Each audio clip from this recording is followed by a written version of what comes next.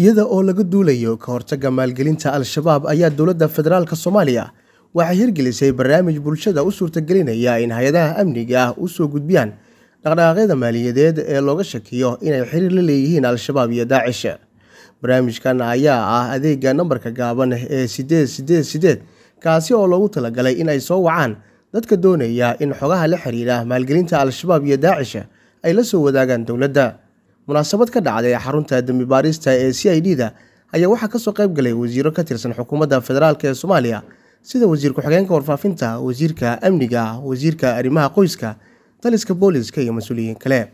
Mas'uuliyiintii ka hadashay munaasabadda ayaa ku dheeraaday ka hadalka muhiimadda ka hortagga maalgelinta al-shabaab iyo daacish maadaama dowladda federaalk soomaaliya ajandayaasheeda ay qayb ka yihiin in dhinacyada ka soo horjeeda dowladda lagala dagaalamo dhinaca dhaqaalaha maantana waxaan halkaan u farnaa in qaybtii koowaad oo ee daafurka iyo dib u eegista ama dib u furidda nambarkii aid aid oo hore u shaqaynayay in mar kale aan u sheegno in nambarkii uu qabanayo shaqo ka duwan shaqadii uu qaban jiray shaqo ku zaa'ida oo ah in uu la soo xogta ku aruuriyaan ku saabsan arrimaha dhaqaalaha ama financialka.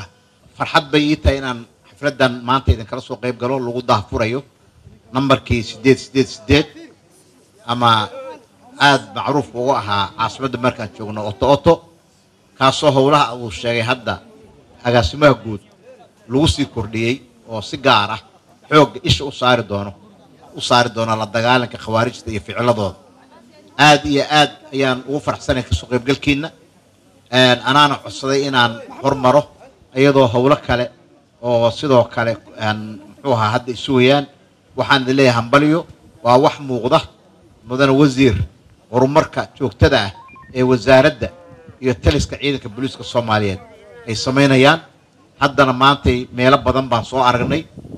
Middaanuna waa t o lagu sii kabay. Waxaan idiin rajaynayaa in aad horumarkaas iyo guushaas aad ku wadaan hoggaankiina wanaagsan iyo waxqabadka ummadda aad u haysaan. Waxaana muxuu ahaa xusi doonta. Waxaad haysaan iyo waxaad qabanaysaan.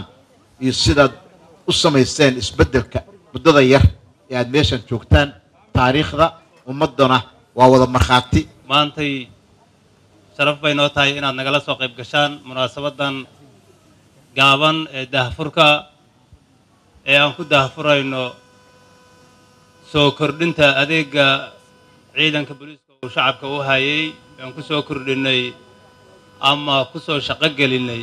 Waa shaqogelin baan dhihi karaa wuxuu ahaa ritaayar waxoogaa wuu yeer daalay daalkii baan waan soo duuduugnay waan ka soo saarnay. Godka ku jiray lambarkii ciidanka booliisku oo caanka ku ahaa.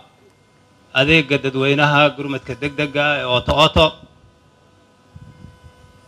Lambarkaas waxaan is leeyahay dadka soomaaliyeed.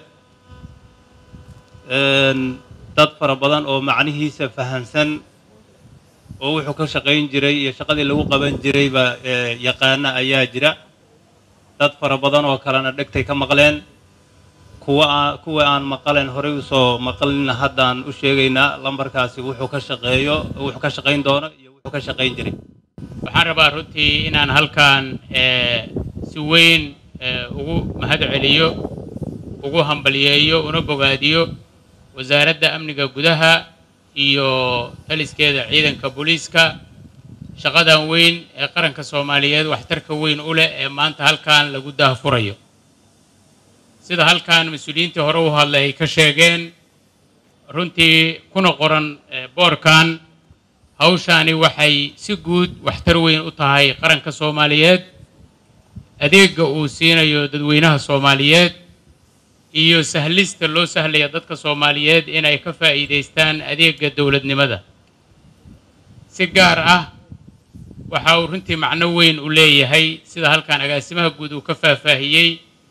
Qorshaha dowladda soomaaliyeed ay kula dagaalamayso khawaarijta.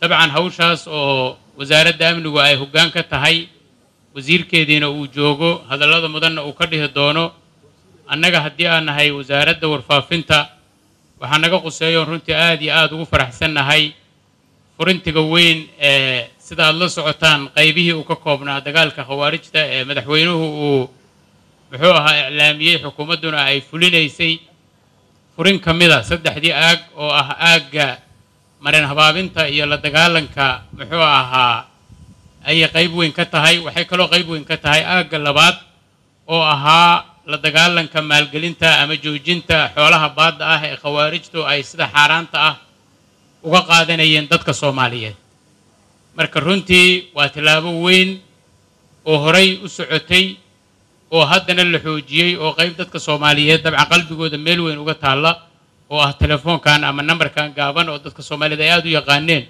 inuu maanta howlgalahay wax weyn ayay tahay. Wuxuu dabcan ku biirayaa hawshii soo socotay muddadii la soo dhaafay labadii sano iyo bilihii ugu dambeeyey oo runtii horumar weyn laga sameeyey saddexda aagba waxaa maanta ay inoo tahay maalin aad iyo aad u fiican maalin xusuus mudan maalin dib u soo curasho mudan maalin dib u noolayn mudan oo aan daah furayno. Taariikhdii booliska soomaaliyeed uu lahaa qayb ka mid ah oo maqnayd muddo aad iyo aad u dheer oo la odhan jiray oto oto lambarka oto oto waxaa ka taariikheeyey wasiirka qoyska iyo arrimaha bini aadamnimada genaraal bashiir goobe waxaa ka taariikheeyey wasiir alcadaala waxaa ka taariikheeyey taliya sulub. Taariikhda ay leedahay waa taariikh aad iyo aad u fog oo muujinayso in taliska ciidanka booliska soomaaliyeed oo uu horkacayo taliyahooda oo uu garab taagan yahay taliya ku-xigeenadooda iyo hoggaanadooda inay dib u soo nooleeyeen taariikhihii booliska soomaaliyeed ay lahaayeen taasna aad iyo aad baan inkaga mahad celinayaa haddaad tihiin taliska ciidanka booliska soomaaliyeed iyo laamihiisa kala duwan hoggaanadiisa iyo talisyadiisa iyo ku-xigeenada dhammaan aad baan inkaga mahad celinayaa oto oto. Macnaheedu wuxuu ahaa meesha keliya ee muwaadinka soomaaliyeed meel kasta uu joogo wuxuu la kulmo. Ama halis ah ama emergency ah uu booliska soomaaliyeed uga wacan jiray si loo soo gaaro lambarkaas gaaban oo saddexda siddeedaad ah ayaa lagu dhufan jiray. Meel kastana markaas gurmadka waa u tegi jiray. Waad og tihiin haddeer waxaan soo marnay marxalado kala duwan siduu wasiir alcadaala sheegahayay xilli aan lagu dhiiran karin in booliska lala soo hadlo xilli aan lagu dhiiran karin in laga dhuunto maxaa la yidhaahdaa muxuu ahaa oo ay yidhaahdaan nimanka khawaarijta ku arkayo ee bulshada tidhaahdo waa la soo maray. Waxa iyagaa waa laga baxay. Waxaa lagu dhiiranayaa in booliska oo ahaa isku xidhaha bulshada iyo maxaa la yidhahdaa hay'adaha amniga ama hay'adaha dowladda in lagu soo dhiirado. Marka haddii haatan loo furay ama la diyaariyey maxaa la yidhahdaa lambarka oto oto ahaa waxaan filahayaa shacabweynaha soomaaliyeed ama bulshada soomaaliyeed in ay u fududaatay la dagaalanka qaybtay kaga aadanayd oo ahayd inay soo sheegaan waxay arkaan. Cidda fulinaysay cidda qabanaysayna waa u diyaarsan yihiin ayagoon waxba iswaalin? Ayay lambarkaas saddexda sideedaad ku dhufanayaan.